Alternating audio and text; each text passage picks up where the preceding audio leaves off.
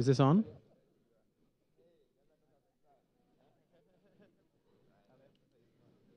Good afternoon, ladies and gentlemen, members of the African Studies Association and invited guests. We're so pleased to see so many faces here today. My name is Benjamin Lawrence. I'm the program chair, co-chair, along with Bill Mosley of this year's annual meeting. It's been such a pleasure putting together this program. Uh, we're so pleased to see so many participants, so many innovative panels, so many wonderful collaborations, and so many new collaborations arising out of this meeting. Uh, before we get started, I'd just like a show of hands. Who is new to the ASA this year? Who's here for the first time? Wow. Look around, everybody. Look at those people, note their faces and their hands, and make sure that they're welcome. Talk to them after the meeting. Please talk to them after the meeting. We want them to stay members. We want them to come back. And we want to bring their friends with them next year in Chicago when we celebrate our 60th anniversary. So, um, one of my responsibilities as co chair is to think about innovative programs. And uh, when my dear friend and colleague, Rochelle Jean Baptiste, is she here in the audience somewhere? Hiding, perhaps? Rochelle Jean Baptiste, uh, professor of history at University of California, Davis, when my dear friend proposed um, that we could perhaps bring uh, a couple of playwrights, that, you know, I'm not sure we have room for that, I thought to myself. No, seriously, when I first started studying African history at Stanford many moons ago and read uh, Weep Not Child, little would I have imagined that more than X number of years later, I would be on a podium uh, like this. So it's a great privilege, it's a real honor, and it's an honor for all of us to have um, such a distinguished panel right before us. Uh, Professor Ngugi wa Thiong'o and Professor Micere Githae-Mugo are going to be uh, introduced formally by Professor Simon Gikandi, And I would like to uh, thank, in addition to Rochelle Jean-Baptiste, Julie MacArthur, who helped bring this together. Julie is here somewhere in the audience. Thank you, Julie, at the University of Toronto.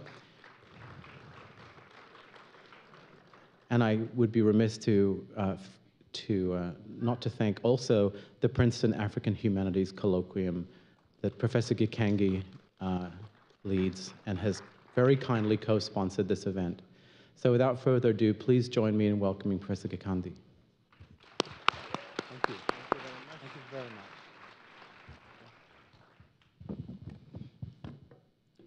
Uh, this is for me uh, an important moment uh, because I'm introducing two people who are very important to me and have been very important in my intellectual life and also my social being. Uh, I'll be introducing Professor Micere Githae-Mugo and Ngugi wa Thiong'o, and they'll be talking about their play, The Trial of Dedan Kimathi. And for me, um, I cannot help being nostalgic because it was exactly maybe just about 40 years ago that I met the three of them, that is Micere Githae-Mugo, Ngugi wa Thiong'o, and the trial of Dedan Kimathi.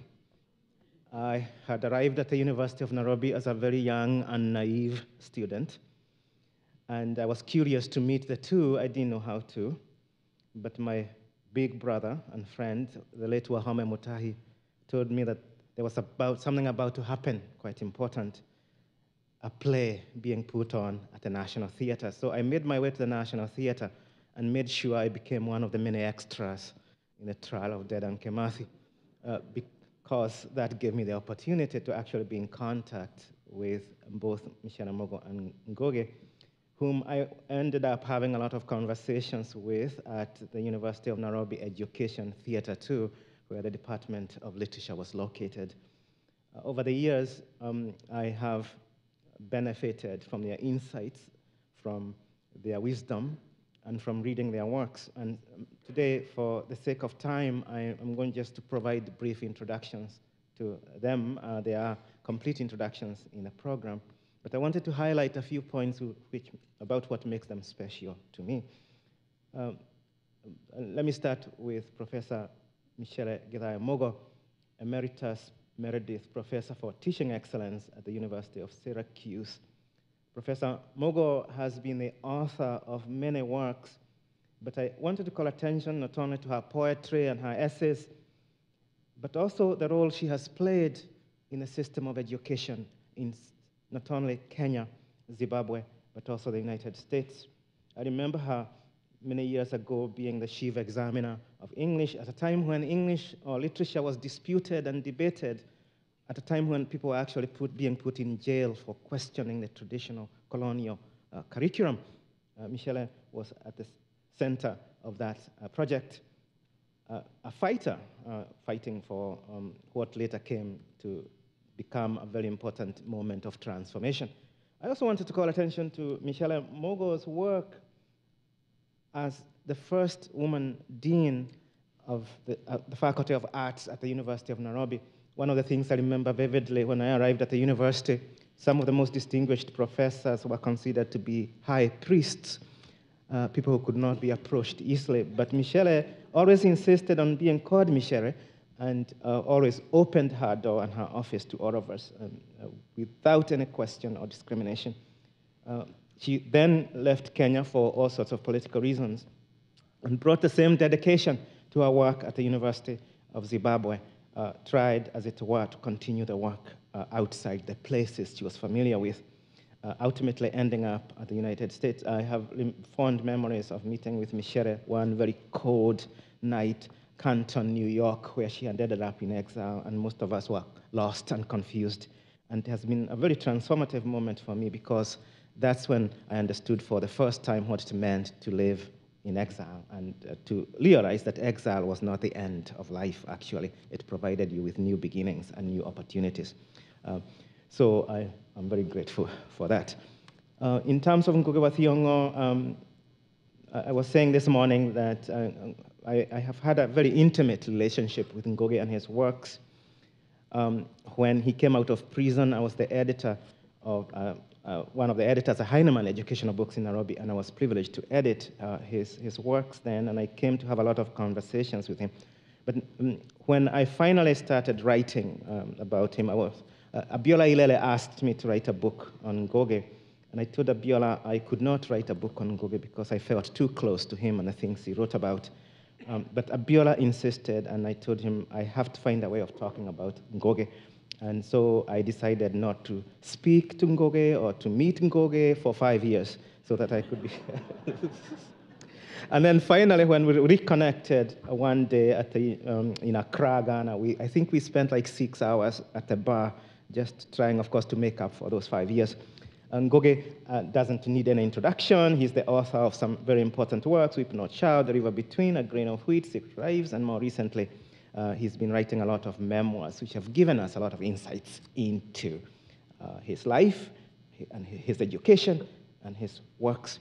Um, these memoirs um, focus not on the schools he went to, but also call attention to the intersections between Ngugi and Micere uh, through alliance, uh, through, uh, most importantly, Makerere University College, and most importantly, the University of Nairobi, where they became collaborators in the writing of the Trial of Dedan Kimathi, which is going to be the subject of the conversation this evening. Please welcome, uh, help me in welcoming both Ngugi and Micere.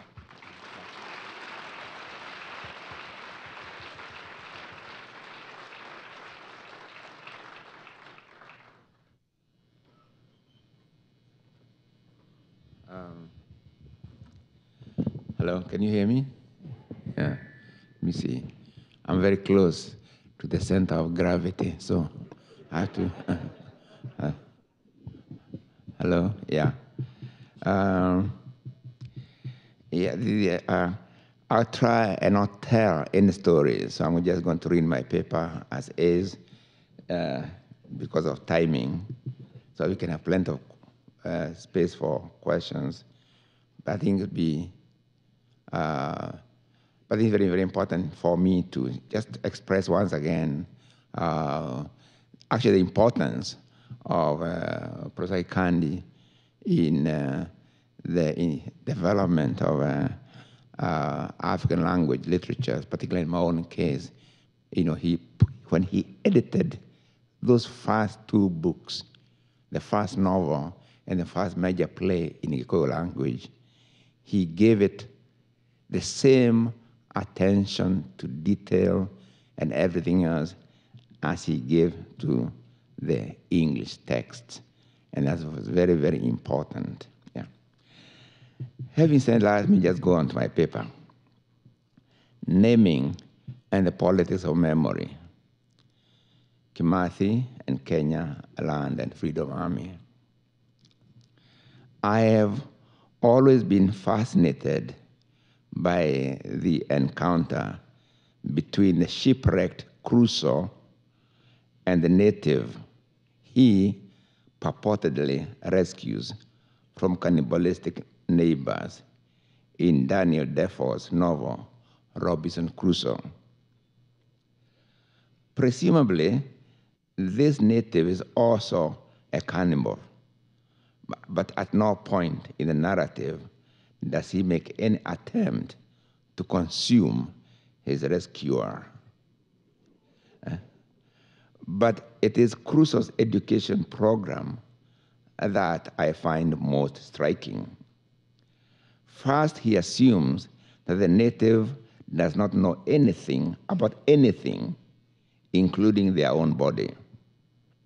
So, unlike Shakespeare's Prospero, the earlier shipwrecked, who takes it that Caliban knows the geography of the island, its fresh springs, its natural endowments, and therefore first seeks that knowledge before turning Caliban into a slave. Crusoe seeks no such things from the native. Instead, he sets out to teach the native. The order of knowledge is most telling. He starts with names. Your name is Friday because I discovered you on a Friday. And mine is Master. Note he doesn't say Crusoe. Yours is Friday, and mine is Master. We're to assume uh, that pre Crusoe Friday had a name by which he identified himself and was identified by his relatives and neighbors.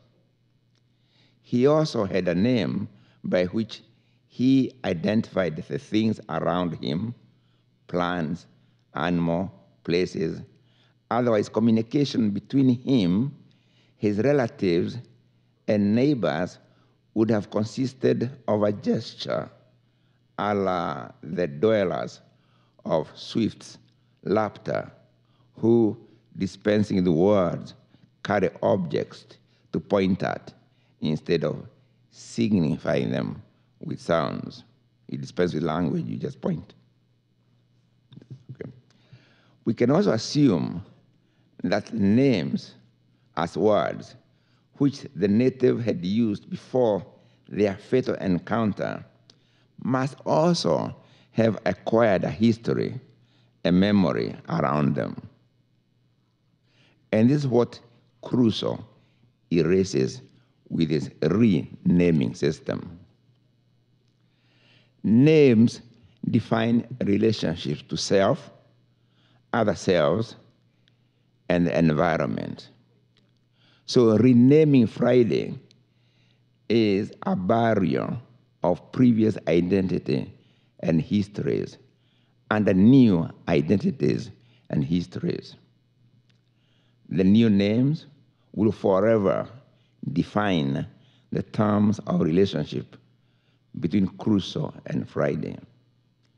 That is the discoverer and the discovered, the foreign expert and the native recipient, the knowing expert and the native ignoramus, the naming master and the named native. Naming becomes the right of conquest, and names the mark of conquest. In my book, Something Torn and New, I have talked a great deal about the politics of memory and the centrality of naming, renaming, misnaming in the power struggle between the subjugating and subjugated, in our case, the colonizer and colonized. Explorations, preludes to actual colonization of new territories and peoples, went hand in hand with renaming. America had a name or names before Columbus and Amerigo. Canada too, New Zealand, Australia as well. So central was the naming to the colonial process that when one power replaced another, they often re-renamed the same place. That's for a quick example. That's for reason New York had named which the pre-colonized natives called it. The Dutch colonial occupant called it New Amsterdam.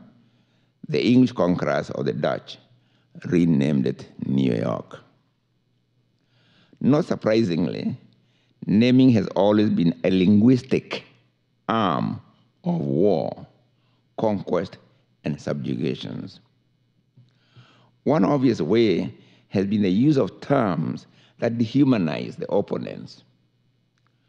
On a small scale, we saw, we saw it in full display during the recent American elections. Trump, early on, discovered the power of projection of his own negative qualities onto the other. That's when Jeb Bush became low energy Bush, Ted Cruz became lying Ted, and Hillary Clinton, crooked Hillary. Some of these carried conviction and consistency because indeed they were projections of his own traits onto others. His followers and even the media came to repeat the terms over and over again. Whatever, the repetition of the same, even where the press attributed them to the source, can shape, and indeed shape people's perceptions of the named. The same dehumanization of the other through names happens in all wars, on all sides. But in a situation where two sides are matched in power, where indeed they have equally matched machinery of propaganda, the renamings may neutralize each other. Not obviously the case in colonial and anti colonial wars, in their access to means of propaganda. One side, the colonial state machinery, outmatches the anti colonial side altogether. Nearly all the armed resistance in Africa, Kenya, Algeria, Guinea Bissau, Zimbabwe, South Africa, were described as terrorist organizations, and their leaders, or even supposed leaders, from Jomo Kenyatta to Nelson Mandela, described as taking the population back to darkness and death. In the case of Mandela, it was not until 2008 that Mandela was finally removed from the terrorist list in the USA. Language itself is a vast naming system.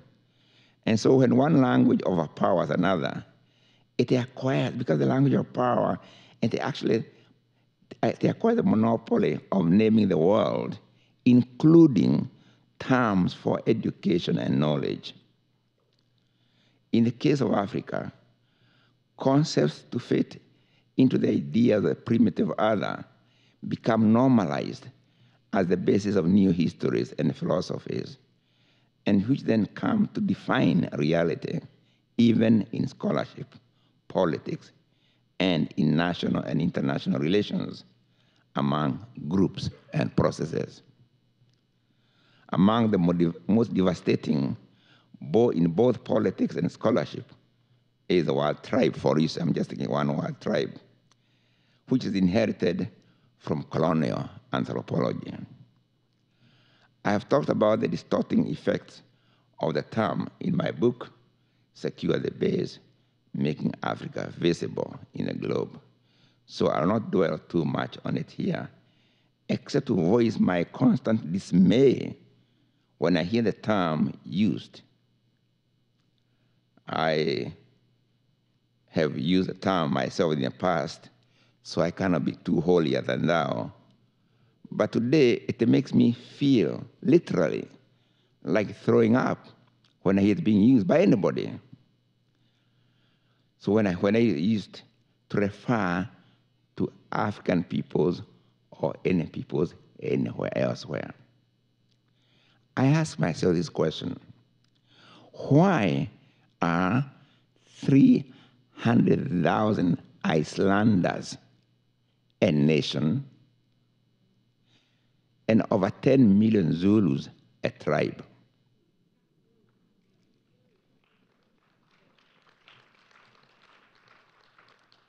The Danes are 4 million.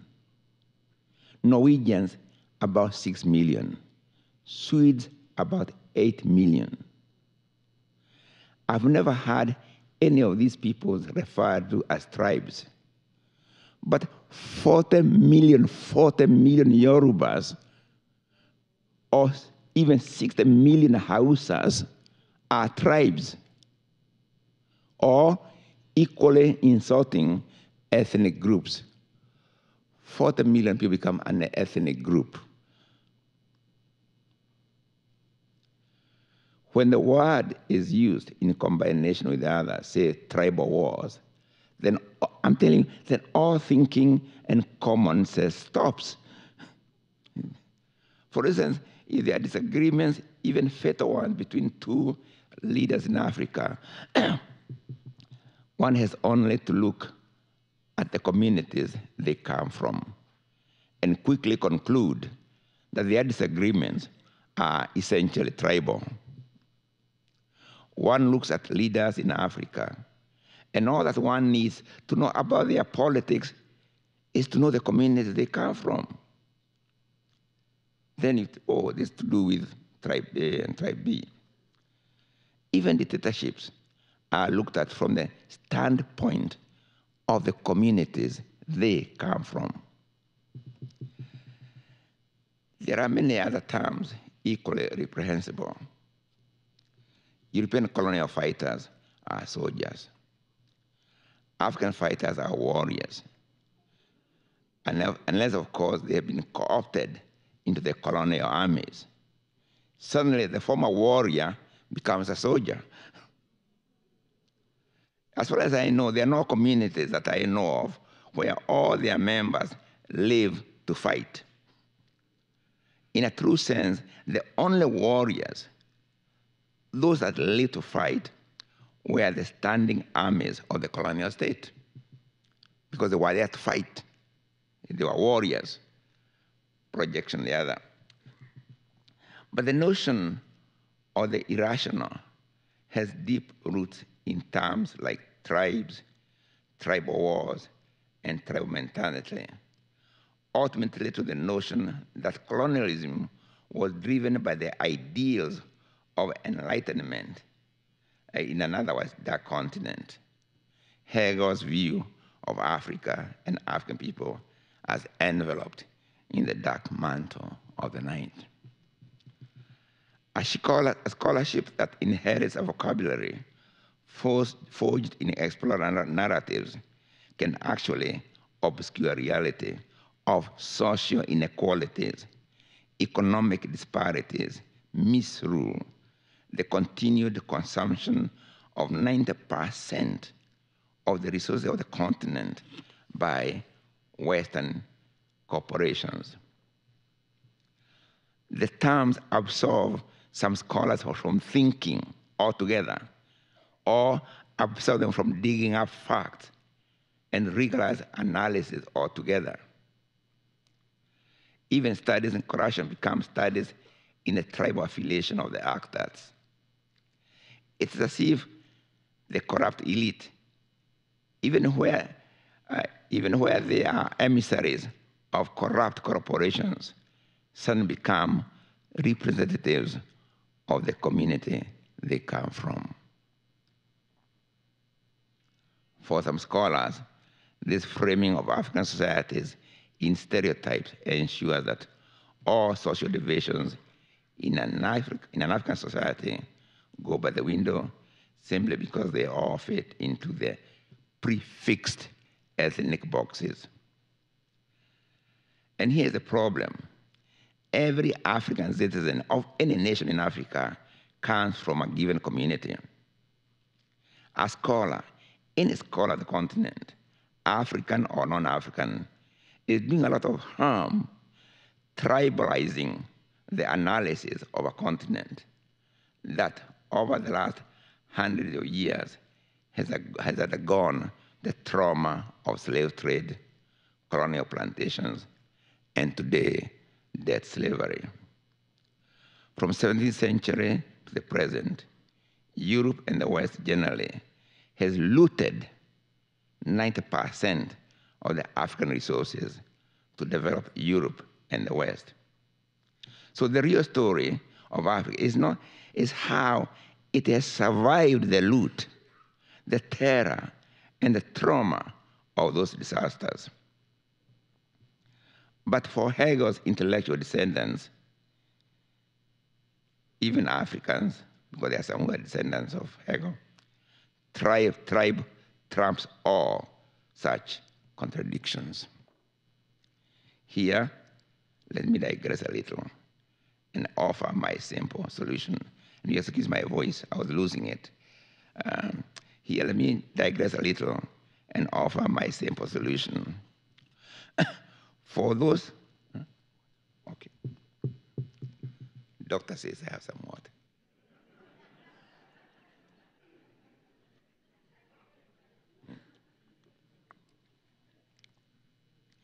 So here, let me digress a little and offer my simple solution for those that really desire to free themselves from the prison house of the tribe. Please call people by the name they call themselves.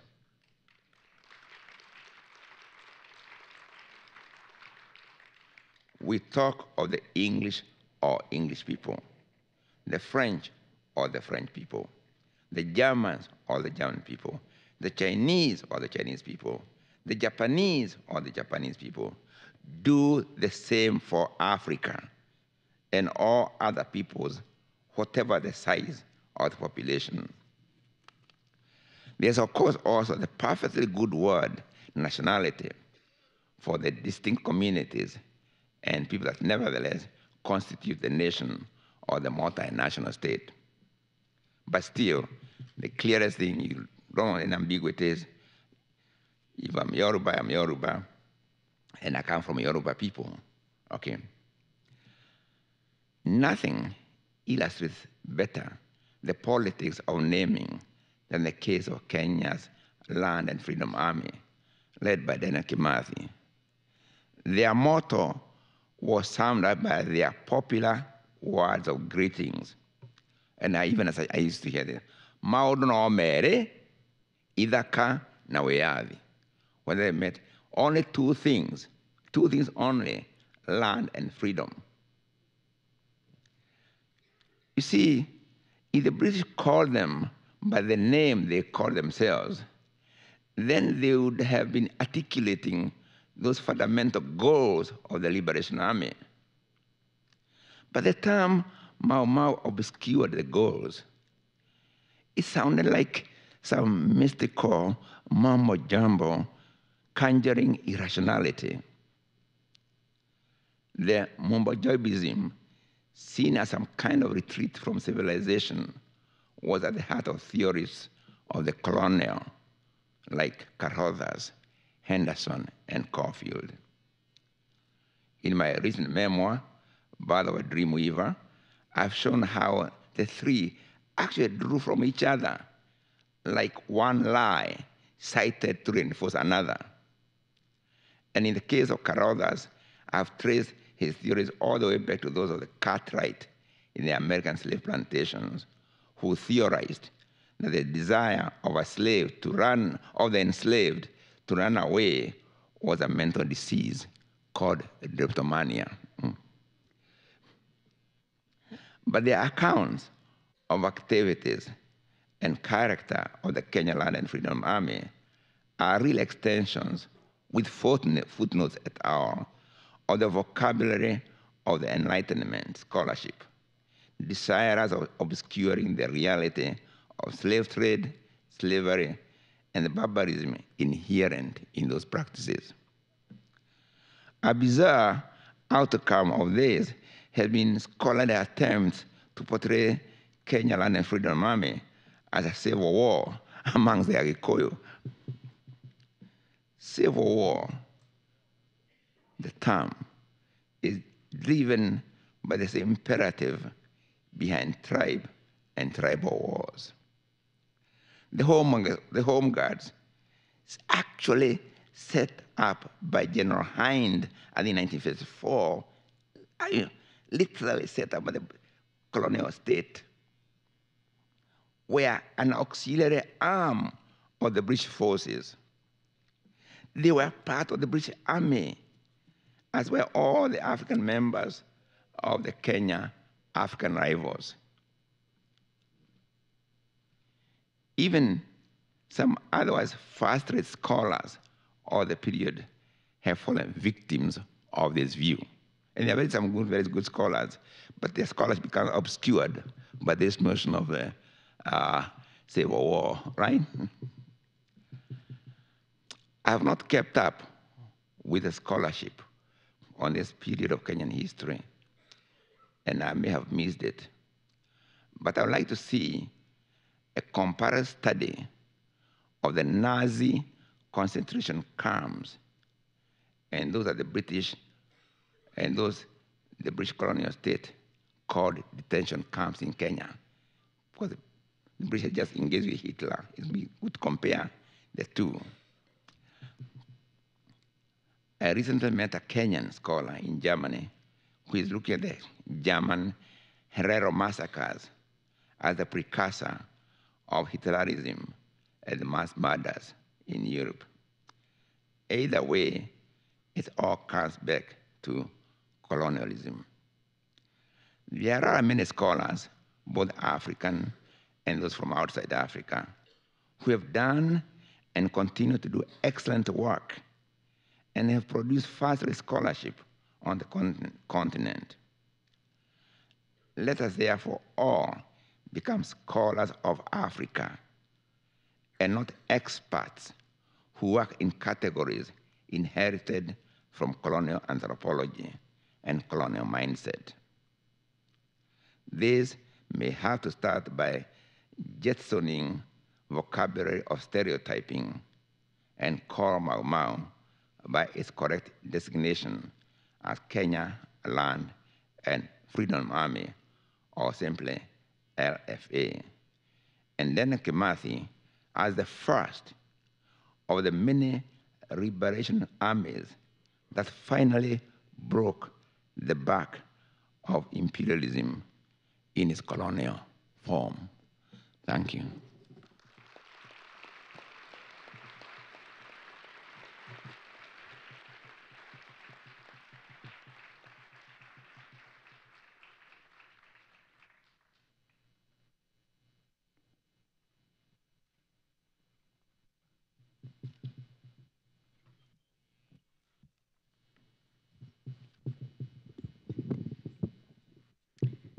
Can you all hear me? Okay, please, if, if, if I begin um, getting faint, um, you know, just raise your hand and, and wave, and I will raise my voice uh, again. Uh, but I want to begin by thanking Professor Gikandi and the Princeton African Humanities Colloquium for making my participation and that of Ngugi possible at this event. We also want to thank the African Studies Association for welcoming us. And in particular, we want to thank uh, Julie MacArthur for all the work that um, she has done to prepare for this panel and to work on the Kimathi project. We remind ourselves that this is the 60th anniversary since the trial of Field Marshal Dedan Kimathi, but it is also the 40th anniversary since the publication of the trial of Dedan Kimathi. I cannot believe it, except that from time to time my bones remind me that that time is real. Ngugi was speaking about being close to gravity. I think I'm very, very close to the ground here. But um, I will definitely not be able to follow in the footsteps he has set. Really, very high theorizing. I always enjoy listening to Ngugi. So please join me in thanking all those people and thanking you too for being here and sharing this event with us. I also want to uh, recognize my daughter Mumbiwa Mugo, who has really become like my right-hand person as I travel during times when my health is, is, is very, very difficult sometimes to, to handle. So she's here today, Mumbi. Thank you very much. By the way, I want to make sure, please, Ngugi, can you check that my phone is, is off? One, one day it rang in the middle of a presentation I was making in a church, and I was so embarrassed because I was trying to pretend that it wasn't mine. And looking around to wonder whose telephone is that ringing, and so. And of course, I should have been more creative, like Archbishop Tutu. I think you've heard his story that once his cell phone went when he was in the middle of Holy Communion. And then he excused himself and said, Surely I have to take this call because it's from God.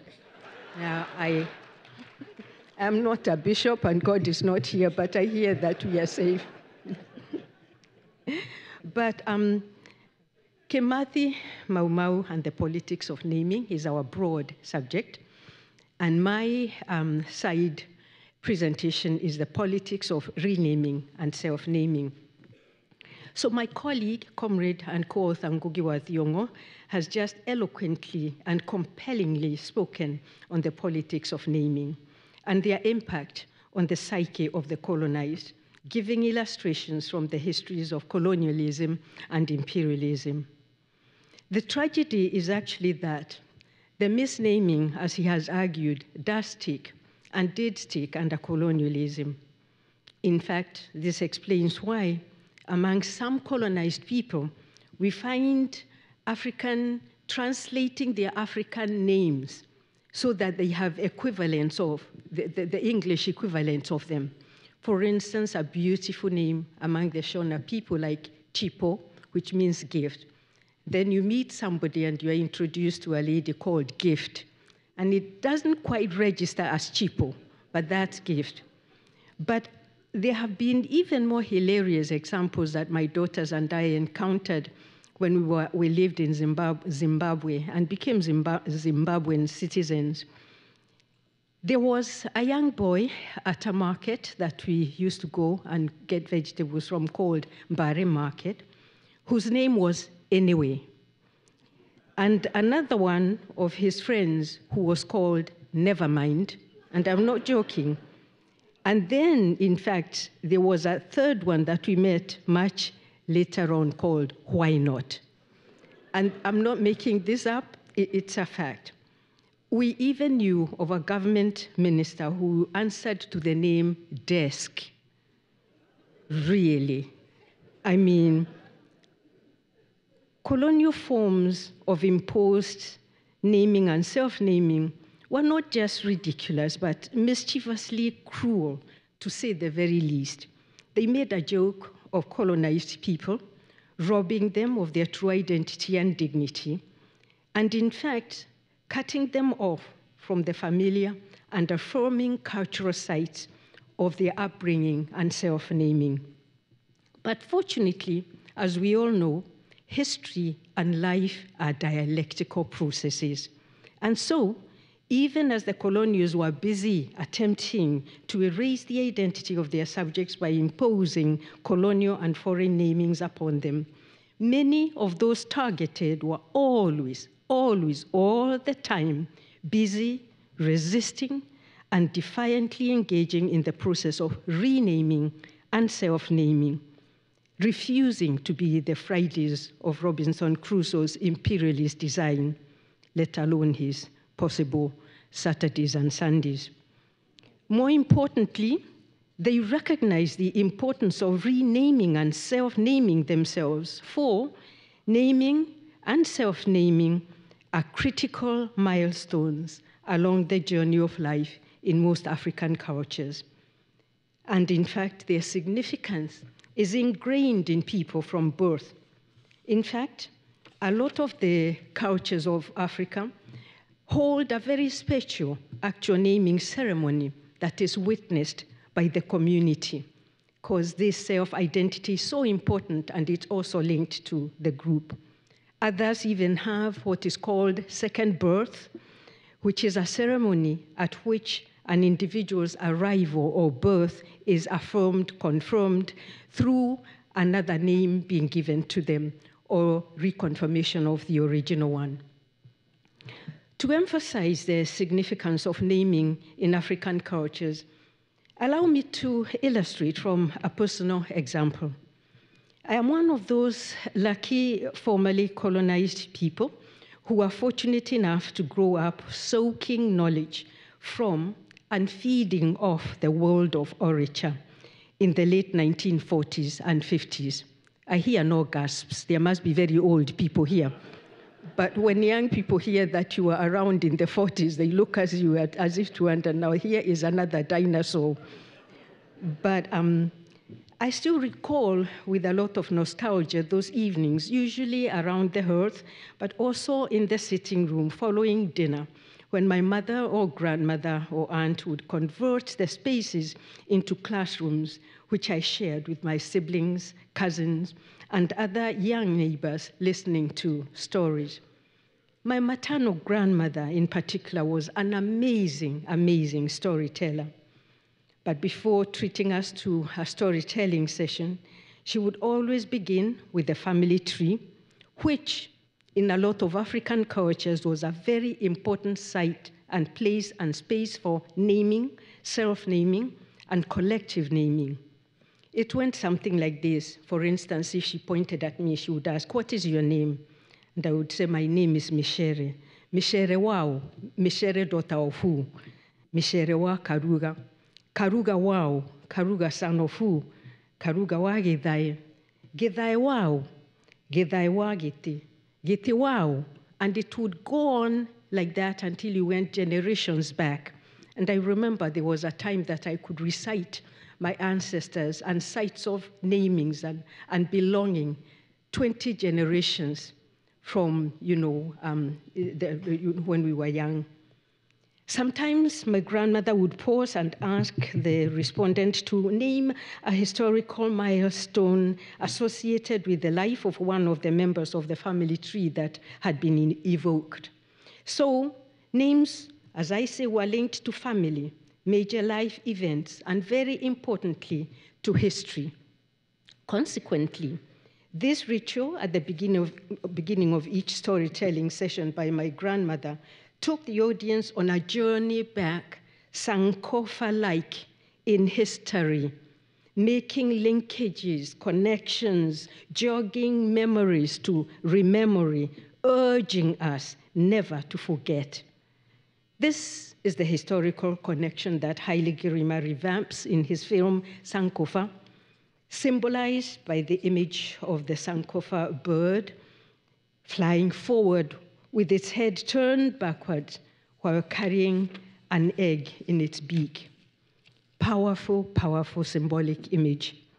To wit, this is the significance of the unborn child in Julie Dash's film, Daughters of the Dust where the unborn simultaneously connects the present to the past and to the future, where, paradoxically, the unborn has the spirit and seasoned wisdom of Nana Peazant, the elder matriarch in that film.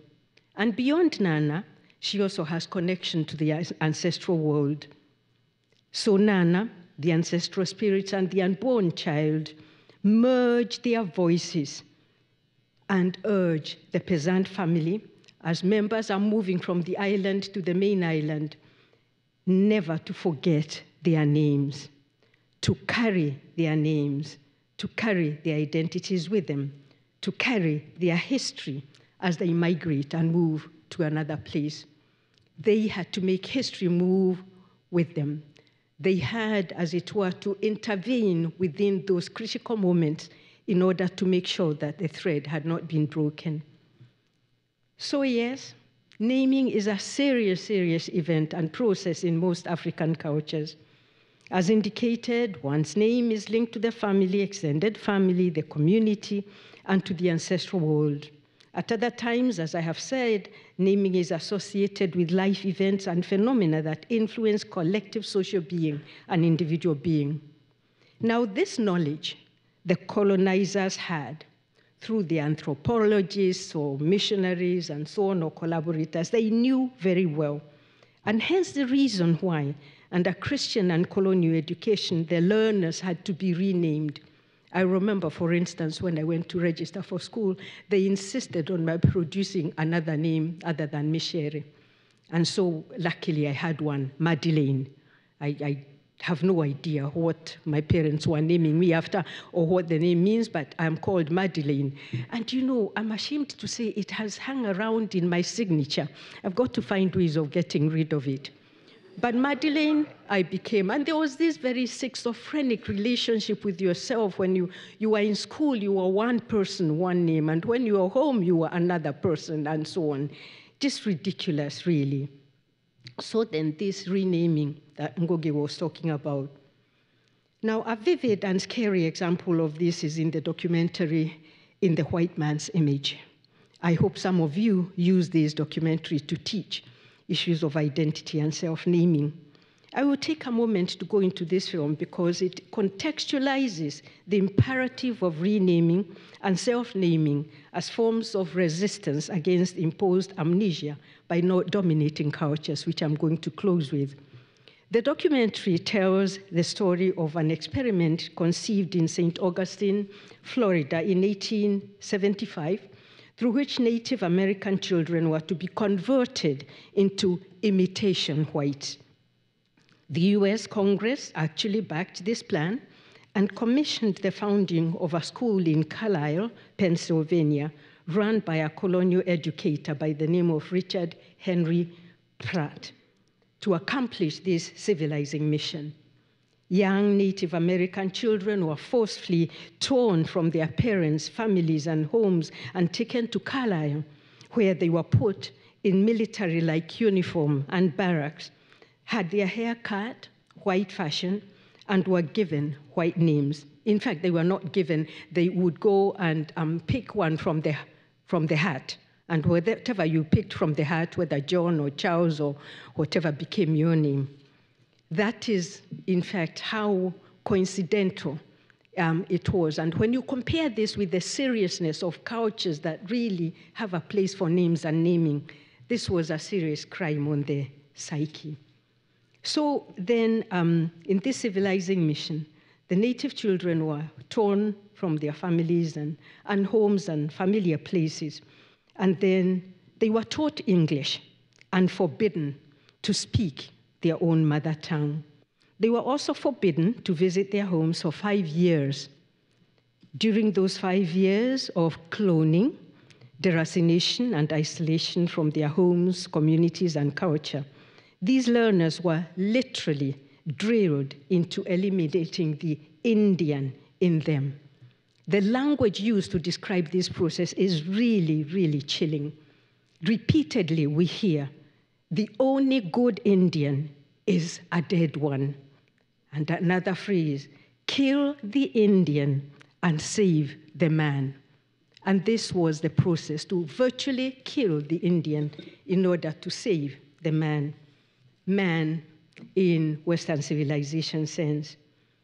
The experiment, of course, resulted in suicide, genocide, and permanent psychological scars among First Nations people. For comic relief, by the way, um, capturing children when they were so young, there is a story, I don't know whether you heard it, of a Roman Catholic priest who had a full church always. and a Protestant who was really struggling and would have about five or 10 people in his congregation when the Catholic bishop was having about 200 or so. So uh, the Anglican priest said to the Roman Catholic, How do you manage? How do you get them? And the bishop said, Ah, we catch them when they are young. So, this colonial process of capturing and catching children when they are young, and then literally killing the person that they are in them in order to create versions of whiteness is really scary. Now, versions of this experiment are to be found throughout the history of colonialism. Frantz Fanon was right, therefore, in arguing that liberating physical space, land for instance, was a much easier task than liberating an invaded mind. Now, writers, artists, educators, and journalists, and all kinds of people have a central part to play in the liberation of the mind. Indeed, in Return to My Native Land, upon returning to Martinique from Europe, the first task that Césaire, the poet, engages in is the renaming of his homeland following years of colonial uprootment and ravaging. He insists on finding his voice and the language to rename his surroundings the land, the terrain, the flora and fauna, the rivers, the seasons, and so on, using his own language on his own terms. He also learns to tune his ears to the conversations and rhythms, to the conversations and rhythms of speech of ordinary Martinican people, survivors of colonial onslaught, in order to tell their story with them. Now, in composing the trial of Dedan Kimathi, Ngugi and I were not only highly aware of all the dialectics and sites of contestation that I have outlined above, but also deeply conscious of our role as artists in the challenging task of denouncing colonial and imperialist misnaming and misrepresentation of the history of the Kenya Land and Freedom Army, or so called Mau Mau, and its leader, Field Marshal Dedan Kimathi. And as Mwalim Gikandi was saying this morning, this is the beauty of being a literature person, an artist, and so on, because you can conjure new worlds and so on without being accused of giving wrong historical facts. So, who stops my imagination? Ngugi and I just went off with our imagination to reimagine and rename these sites that had been maligned under colonialism. So then, while feeling the urgency to embark on the work of renaming and self naming, we were also keenly aware of the fact that we could not do this authentically without revisiting indigenous sites of knowledge, such as living witnesses and orature, including oral historical narratives, myths, legends, stories, songs, and so forth. We needed these counter narratives to debate with accounts like Elspeth Huxley's A Thing to Love or Ian Henderson's The Hunt for Kimathi, Robert Ruark's Uhuru and Something of Value, LSB Leakey's Mau Mau and the Kikuyu, Defeating Mau Mau and others. Indeed, in the year 1974, two years before the publication of The Trial of Dedan Kimathi, we came across another version that seemed to us very close to these colonial sources. It was a play by Kenyan playwright Kenneth Watene that was performed at the Kenya National Theatre, which at this time, at the time was a site where Africans were not welcome. It was a place that was reserved for whites only, even though we were 10 years into um, independence. So we saw this play, and the play seemed to us to be the latest narrative at the time, confirming most of the false namings and stereotypes that were unleashed upon Kimathi and the KLFA by colonial sources and their agents. Now, I always learn a great deal from Mwalim Gikandi, who was my student. So I'm going to go to him for some schooling in order to learn how to be kind to Watenes, Dedan Kimathi, as he told us this morning he had managed to do. I guess it happens with old age. Perhaps I'm too old now to be reconciled to it, but we'll see. In many of these colonial accounts, anyway, false naming is methodical and it's deliberate. Ngugi has spoken to the meaninglessness of the term Mau Mau, but besides this outrage, all manner of other vicious terms were used by the colonials to malign the fighters, such as terrorists, or in the Gikuyu language, itoi. Actually, in, Gikuyu, in the Gikuyu language, it's a very ugly word, itoi, which can also translate into heartless criminals or evildoers. Or imaramari, even worse, you can hear even the onomatopoeic sounding, imaramari, was another term that would mean something like roaming wild, lawless vagabonds. Some even called the fighters oragani, killers, and one could go on. I remember that there were stories and myths we were told as children that they used to drink people's blood. And this made us fear these cannibals that were out there in the forest. But in any case, this false naming criminalized, criminalized the freedom fighters, depicting them as inhumane beasts whose single mission was to engage in senseless bloodshed. These patriots were painted as purposeless destroyers and enemies of the people. Kimathi was vilified as a cruel dictator who ruled through fear and terror. Some accounts even depicted him as an egomaniac and psychopath who had no heart. Conversely, the masses and supporters of the KLFA had alternative namings for these very same fighters, referring to them in endearing language, such as Itungati, a term that loosely translates into those who serve, the servants of the people. They also endearingly referred to them as Anake or Iheshia boys of the forest, or as Njamba Shiabururi, heroes of the land. They loved and revered Field Marshal Dedan Kimathi. Now, thus reading counter narratives such as Karari Njama's Mau Mau from within, J.M. Kariuki's Mau Mau detainee, and other autobiographical accounts by former freedom fighters, and even more importantly, as I have said, discovering or richer sources and narratives that told completely different stories of Kimathi and the KLFA. Then listening to some living witnesses who knew Kimathi, Ngugi and I came up with alternative forms of naming. In the preface to our play, The Trial of Dedan Kimathi, we share our experiences from a research trip that took us to Karunaini, Kimathi's place of birth. The oral narratives the people we met shared spoke of a Kimathi that was completely antithetical to the one of colonial naming. A lengthy quotation from the preface summarizing these witnesses' memories of Kimathi will help clinch the point that I'm trying to make here. I quote Ngugi and I say, the writing of the trial of Dedan Kimathi has been both challenging and exciting. It has put us through a lot of education in connection with the continuing struggle against economic and other forms of oppression. We also discovered that Kimathi was still a hero of the Kenyan masses. One day, for instance, we visited Kimathi's birthplace with the aim of eliciting a first hand assessment of Kimathi from the people who had known him as a child, a villager, and guerrilla hero. Karunaini people were very proud of their son. They talked of him as a dedicated teacher, committed organizer of a theater group that he had named in the village Gichamu, as a man with a tremendous sense of humor who could keep a house roaring with laughter.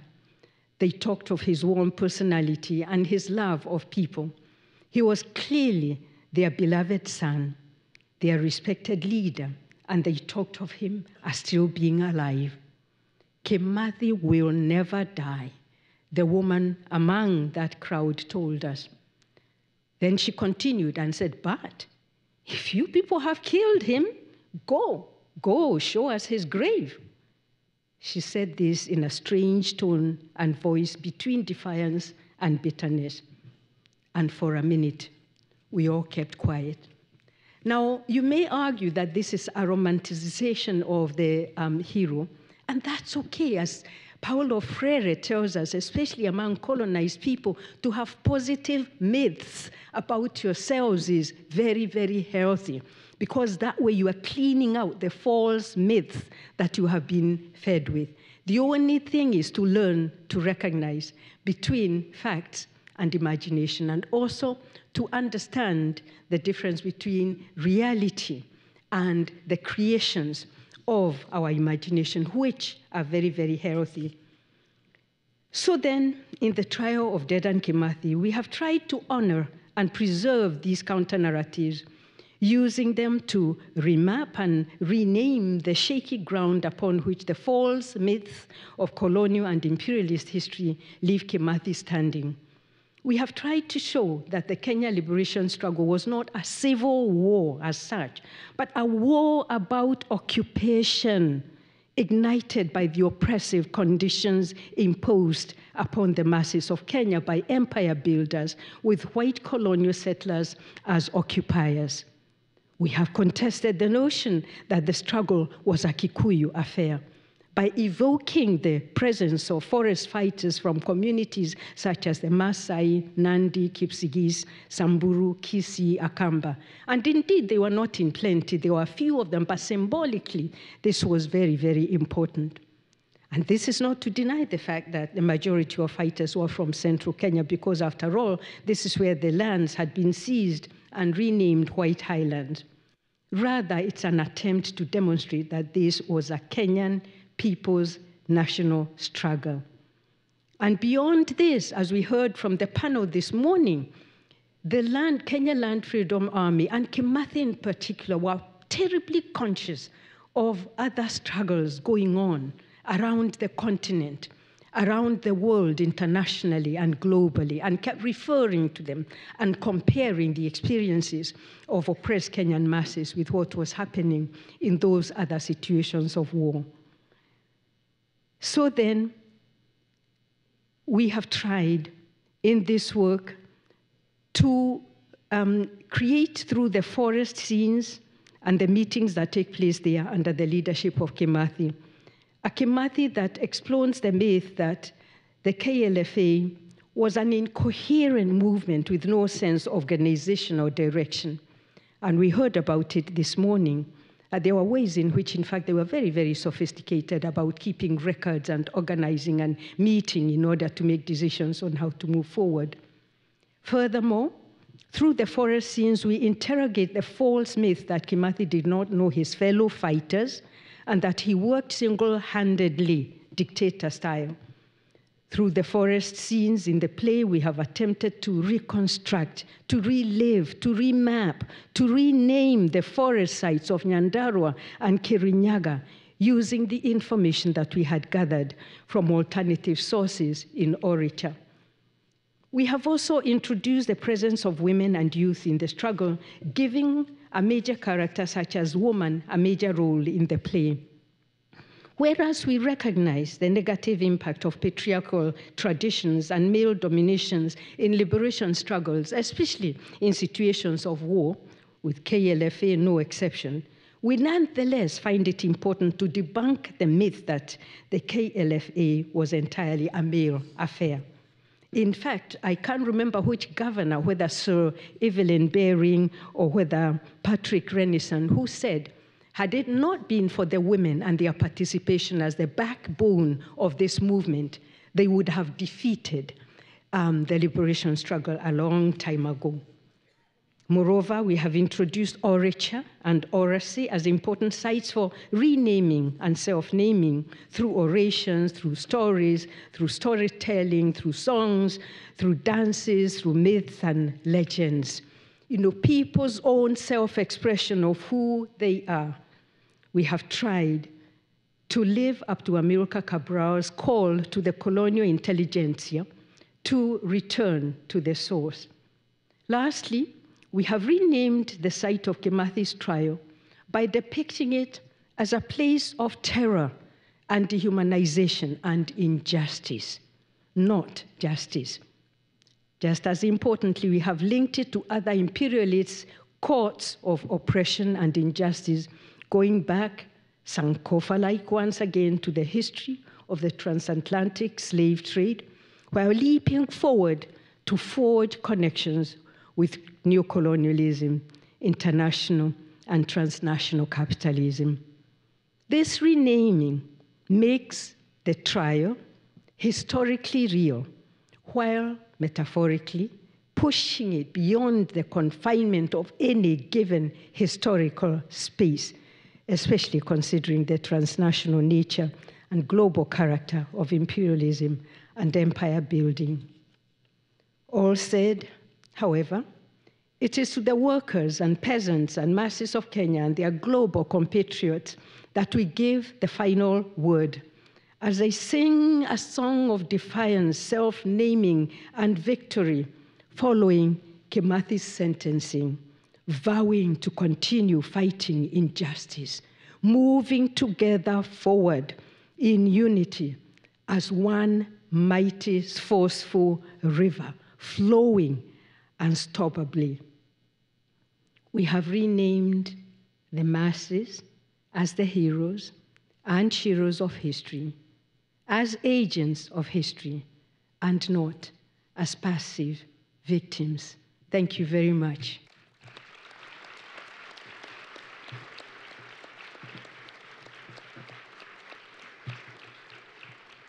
I do want, if you'll excuse me, to recognize the man you see here um, seriously videotaping and filming all over.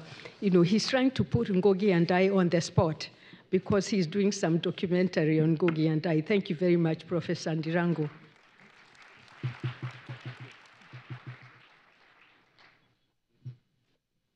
Well, um, I think we have some time for questions. Um, so if you have any questions, you can come up to the microphone. Yeah, you go to the microphone.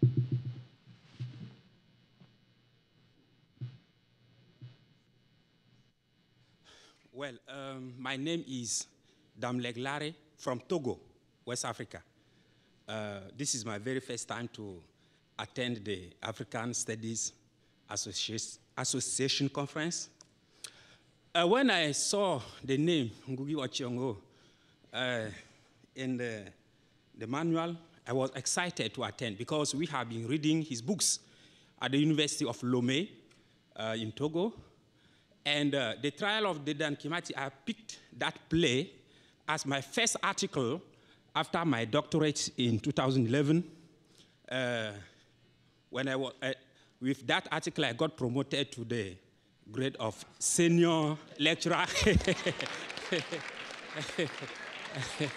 so, well, so the trial of Dedan Kimathi is a very important play. Uh, but I would like to ask a question because when I read the play, uh, many characters have a name. Uh, Kimathi has a name as a hero. Uh, Henderson has a name. Uh, but the woman, the boy, and uh, the girl don't have names. Just they are just uh, uh, identified as woman, boy, and girl.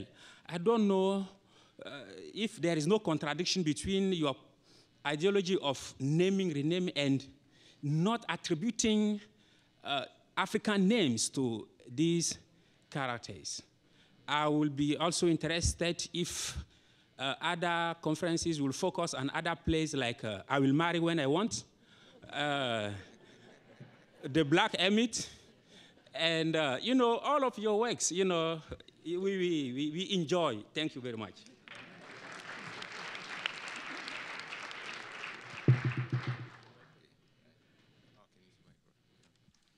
Um, I think our idea was to, yes, uh, Micere has, of course, um, you know, so contextualized the play, you know, quite a lot. Uh, uh, but one of the things we are really very concerned with was also the, the place of women in the struggle. Uh, because unfortunately, the, the narrative, the dominant narrative, even receives narrative, has been as uh, the boys, you know, with women somewhere in the background a little bit or supportive, which is support is also a good thing. But the reality was that women, with many of the men and women taken to uh, detention camps or concentration camps, it's the women who are left to be rebuild the new villages or the new communities. But women were also providing food and clothes to those fighting in the mountains. And so they had to go through police barriers and had to use all their cleverness or had to go through that, you know. Huh? But some women were also fighters in the forest. Some women are also in jail and in prisons. So women were literally everywhere in the movement. And for the character of the woman was supposed to, to describe really that, you know, where she's very many things in a play. She's the mother, she's the, uh, the producer of food, she's strategizing, and that kind of thing, you know. Uh, so the woman was given that generic uh, to represent really uh, the, if you call it, call it the collective womanhood in terms of the, the role of women, uh, not only in Kenyan history, but literally, you know, uh, in history. The same for young people, what called boys. They actually played a very big role uh, in, the, in the struggle, particularly in the communication system, right? Because the, uh, when the police were guarding and arresting the older adults and so on, some of the boys could maybe slip by and that kind of thing, you know. So we also wanted to also uh, acknowledge the role of young people in terms of, say, boys and so on. Yeah. So it's a, our attempt at collect, listening for that collective presence as well. Um, and, yeah. I think that um, it, it is also important to. Is this on? It is on. Okay. I think it's also important to recognize that woman is a name.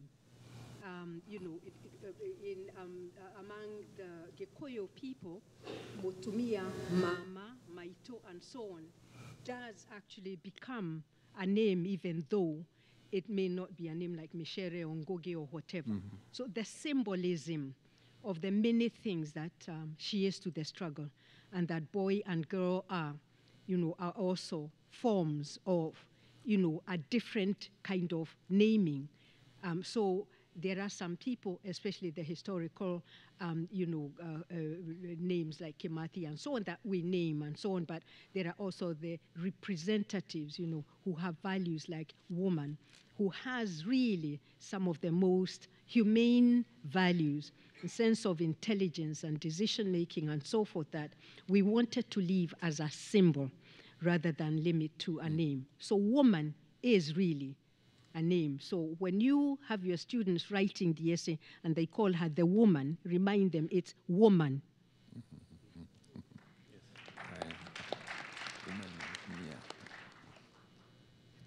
Um, sir, I met you about 20 some odd years ago at the uh, Nobel ceremony uh, uh, in Stockholm, and you signed your book, Petals of Blood, for me. I was a graduate student at the University of Stockholm, so by then we were hoping you will win the uh, Nobel Prize. Uh,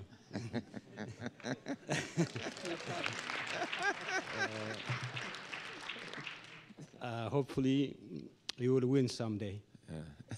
Uh, at any rate, uh, I, I, my question is about this name naming and the colonial experience and how the white Europeans have changed the name of Africans uh, in Kenya as well as in some other parts of the continent. Uh, I come from Ethiopia, uh, from the Oromo people. Uh, I don't know if you are aware of the uh, Oromo people, sort of like the vast majority in Ethiopia. And there are some in Kenya, in northern Kenya, they call them the Boranas in northern Kenya. But um, uh, the imperial structure of Ethiopia has created a condition where the Oromo people have to rename themselves into the uh, other cultures, uh, primarily the Amhara name, as well as some cities and, and territories have been renamed from the Oromo name into the Amharic name, i.e., uh, Adama became Nazareth, Bishoftu became Debre and so on and so forth. So, just as a way of discussion, it's not the European colonialists who named names, it's internal colonization by the Africans. The dominant tribes always impose their cultures, and the dominant tribe also try to imitate the domineering one. So if you can make yeah. so if you could uh, perhaps discuss that, uh, in particular in Ethiopia, I don't know about some other places. As you know, Imperial Ethiopia is a very uh, interesting historiography in Africa. So that you know, uh, when you were saying about this name naming, my own experience sort of uh, flashed in front of me, as well as meeting you some 20 years ago, and I hope you'll you will win the uh, Nobel Prize someday. oh, thank you very much. a couple of things you might, may, I might start because uh, you mentioned the Nobel Prize. Uh, and you say I'll, I'll, win someday. I want to break the news. I have already won. Huh? Because when you say what the play, like Travelina Kimathi, or the novel Petals of Blood, or any other, what it has done to you or for you. That's the biggest Nobel that me, as a writer, you can never give. Huh? And every year, I really do, from the bottom of my heart, always appreciate the sense of collective and communal sense of expectation that I get, you know, from all Africa, Kenya, actually, and from many parts of the world, you know. So it's really that very special feeling, and I really, really appreciate that. So in that sense, I've already won uh, many times over. Yeah. Um, very quickly, I'm glad you mentioned. Oh, I just you saw me almost throwing up. It's nothing to do with you, but uh, I told you the effect. That's the, the impact of the word tribe. on me. Sort of I feel uh, uh, yeah, like so, but I'm so glad I didn't actually. I held myself the difficulties. Yeah. Having said that, you make a very important point.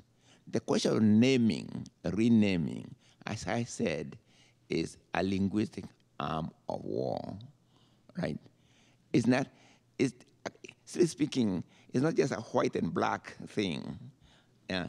It's white and black as colonizer and colonizing, not as whiteness and blackness. And I want to give quite very, two very quick examples. The question of name was the question of using names and naming as a way of erasure of memory was, I wouldn't say the first time, but it was very articulated very well by the English poet Spenser in to Ireland. This was in a book he wrote in 1598, A View of Ireland at the present time. This is what happened. The English settlers had found very difficult to tame the Irish in their English settlements in Ireland. So in this text by this English poet, he was coming to, literally with a, a manual for how to conquer the Irish. And he comes up, I won't go into details, you can read the book for yourself. He comes up with two things. One is their naming name system. In fact, there's a place where he says, if we can get rid of their Macs and O's, because I had to say Daniel or Daniel or something like that. If you can get rid of their, all we have to do is get rid of their Macs and O's, and they will for, soon forget who they were. Okay? The other was actually a question of language. And at one time, because at that time, the Irish language was more advanced intellectually than English and so on. You know, the English from London had to pass laws prohibiting the speaking of Irish in what they call the English Pale near the English settlement, meaning some people would be hanged for speaking. The punishment was very, very severe. Okay, either because speaking Irish in that environment. That's one example. Quick one. Japan colonized Ireland, not Ireland, but uh, uh, Korea from 1910, roughly. You know, I'm not a historian, so if I make 1910 to 1945. The first thing they did actually impose Japanese names on the Koreans and Japanese language on the Koreans, you know. That, and then I'll stop. I can quote so many, but Norway and, you know, uh, you know, northern Norway and northern uh, Sweden and actually Finland. There's a community, I think they are now they call them Sami. Uh, these have a very negative term called Laplanders or something. But, uh, but their language was actually, you know, suppressed in exactly the same way. And I met two years ago, because now it's allowed, and they tried to revive their language. I was went to a college in northern uh, Norway, uh, where they have everything now in Sami, or in solidarity because of my work in decolonizing the mind and so on. And I just talked about Kenya and the way we are talking about it today. And one of the elders later approached me and he said, Excuse me, how do you know so much about our history? this, I think he was pointing out the similarities, really, of. So the key thing is a social relation of power, subjugation, okay? Yeah. I, I, do want to very briefly um, respond to, to, to that, but Ngugi has, has given a full uh, answer to say that I really hope, for me, um, the important thing is what we learn from history and um, what we learn from the criticism that we are leveling at others. And I hope that this is a reminder to all of us that when any of us are in a position of power, either by reason of being dominant or a bigger group or by being in a position of authority and so on, that we do not repeat the same patterns as we are criticizing under colonials, you know, that end up doing the same to people at a lower level. This is especially important to me as a feminist. If we are going to be critical of patterns of patriarchal behavior that negate others, we had better be very, very careful, especially when, when we're in a position of authority and power, not to repeat the same. But this pattern of subjugation, depending on the power one has and licensing oneself to name others and speak for them and so on, is a very, very big temptation. And I hope it's a lesson that we are reminding ourselves that we need to be alert and, um, you know, all the time about. Thank you. Um, I would I would just like to ask you to be brief because we are running out of time. Uh, my name is Jose Costa. I teach at Vanderbilt University, and I'm really privileged to be able to ask both of you, uh, wonderful people, these questions because you know the the issue of naming and renaming is really really pertinent, and and it's a big it's an uphill battle. So we've been struggling with. Uh, things like, you know, and one of my biggest battles is really to try to get people to think about Bantu, the concept Bantu, as not an African concept, but as a definition of people, right? That there are no Bantu people. And that's been very difficult, that we all are Bantu as human beings. So, but to get people to think that way has been really difficult, but I think it's essential that, you know, this kind of really legitimizes that. The other thing is uh, with the practices of leaders and today's generation and so on of leaders uh, is in conversations I've had with several of my friends. Now I come from Mozambique, and the Lusophone world is, a, is another complicated world, right? And so my friends find it, and, and even colleagues, they find it very difficult to even reuse terminology like Pan Africanism, and uh, you know post-colonial and neo-colonial and so on because of how they they feel like they're disenchanted with the way those things have, are now being used by present day leaders as most of an appropriation of those terms, while the practices don't really go hand in hand as they were in the beginning when, those, when the terms actually, were actually first evoked and when the revolutions and, and the liberation uh, struggles were happening and so on. So th those, this is a conundrum we find ourselves in now because we want to maintain the spirit of what those terms actually represent and, and not lose the terms at all but, and, but also maintain the spirit. And so how do we bridge that gap? Anyway, I have more stuff to talk about, but let me uh, just right. stop there. Thank you. Yeah, I didn't tackle that one. Well, um, um, time is moving uh, really very fast, and I think that um, uh, the most important thing is uh, what um, um, uh, Ngugi mentioned earlier how do we name ourselves? What do we call ourselves? You know, who are you? Who am I? And so long as we begin from that understanding, it becomes very, very important because, you know, that name really remains, you know, the authentic understanding of who we are. If there are other namings, then we take time to understand whether they are negating our being and how we see ourselves and view ourselves and define ourselves. But we don't just parrot names that we hear or get without analyzing them, without understanding them. Because really, this term that Ngugi is talking about, tribe, is, is serious stuff. The dictionaries have changed a great deal, but there was a time that shamelessly, in fact, uh, something le less than maybe 15 years ago, they were defining tribe as a collection of barbaric people and a primitive chief or something, you know. These anthropological terms, you know, that came and stuck. We must find way of ungluing them, and the only way we can do is insisting on defining ourselves in our own terms.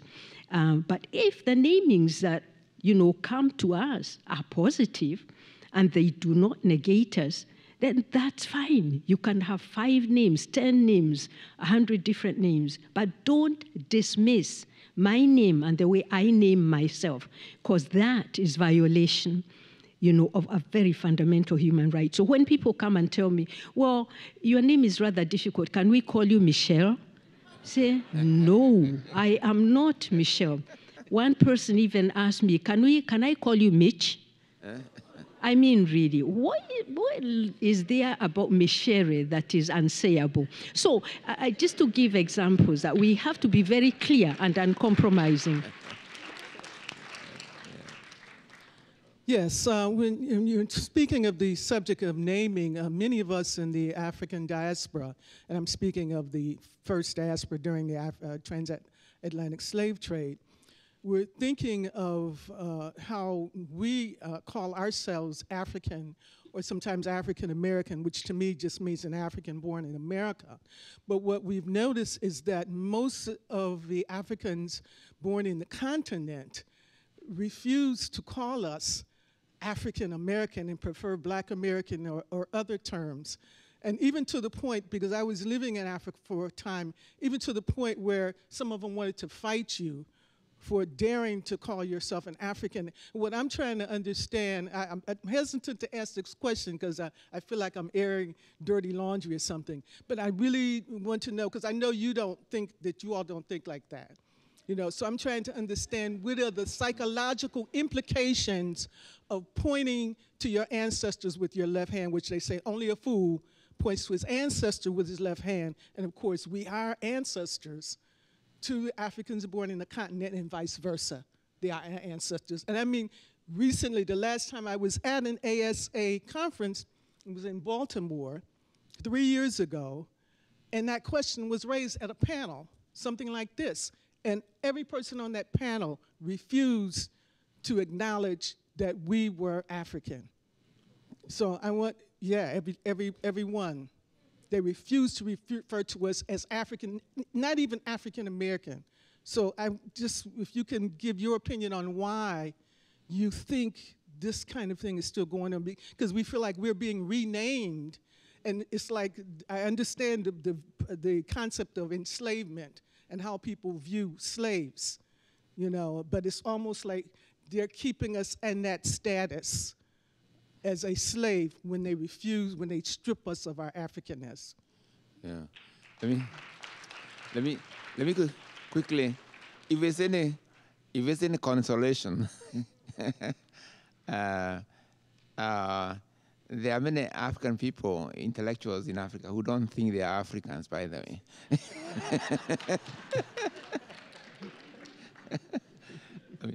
and they will call themselves, uh, say, James Springboard or something, or or James Spanner or anything else, but because they're, they are thinking, they've been brought to think that they are not quite, they are not African really.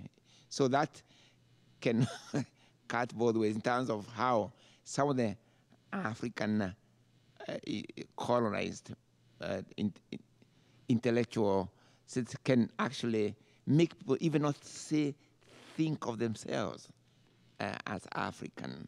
They think African are those others there. But in the case of um, um, African American and uh, actually Africans here, the, I mean, we, it's, it's a history of African people. When you think of African people, you think of African people wherever they are, right? And there are Africans in America, there are Africans in Canada, there are Africans in the Pacific, I've heard African in Fiji, and so on and so forth. Okay? Yeah. Uh, so the question of decolonization or is is a serious business. We have to be consciously do it because part of the history of naming has been the way African peoples on the continent have been brought up to think negatively about um, African American, and the other way around also works, you know. Yeah, where African Americans, someone think of African terms of uh, the bush and so on. Right. We need to fight those things consciously. One of the most important things we try to do in our play, by the way, was to link Kenya consciously. You read the stage directions, we start with the issue of enslavement and trade. So with that to the continuity of our struggle in Kenya, we saw it in terms eh, also of African American people's struggles and Caribbean people's struggles and so on. That's how we made the linkage. And by the way, quite quickly, it's also true. I will mention very, very quickly uh, the importance of Marcus Garvey in Kenyan people's struggle the importance of uh, uh, uh, Paul Robeson, who was with Kenyatta in London, you know, uh, and even during our struggle for independence and so, I mean, for our constant struggles, you know, uh, what's his name? Thompson. Yeah, yeah, was also part of those negotiations and so on. And of course, eventually, Kenya did actually, in the end, also produce an American president. Uh, Uh, yeah, very, very quickly. I just want to, I want to um, share the, the pain you felt um, through that experience because nothing hurts me more than when I see, as people of African origin, ourselves having bought into the negative stereotypes and then using them to unleash them upon each other. And beyond that, practicing forms of chauvinisms, you know, that through which we want to define ourselves as more African than African Americans or African Caribbeans, or, you know, alternatively, even for Africans, as Ngugi is saying, those who are born here, saying, I'm not really African. And I've reached a point where, because I get, for some reason, I really get a bad rap from um, immigration officials, especially in Britain. They always stop me and say that I look like I look like some Nigerian woman who was a drug pusher. That's what they are checking. One time they told me I look like a like a Jamaican woman they were looking for, and at that point I become very very obstinate and say yes, I am Nigerian, I am Jamaican. I'm African American. Now, the sooner we learn to accept these identities rather than use division to divide and rule and show who belongs where most, really the better and happier we will be. And if we don't know our history, as you said, we can't do this because then we don't have the consciousness of the connections that link us together and the bonds that bind us together historically. But beyond that, if we don't move beyond this and also see ourselves as international citizens of the world, you know, who view ourselves beyond, you know, just, you know, color, whereas color is very important and I claim it and I'm not apologetic about it. But our humanity too has to move beyond where we are defining people by their shade or by their geographical space or whatever, but rather by their humanity. All right. Um, I'm, af- I'm afraid we've run out of time. I was told we have to end at this point. I would like to take this opportunity to thank uh, my teachers, Ngugi and Micere, and to thank you all for coming. Thank you very much.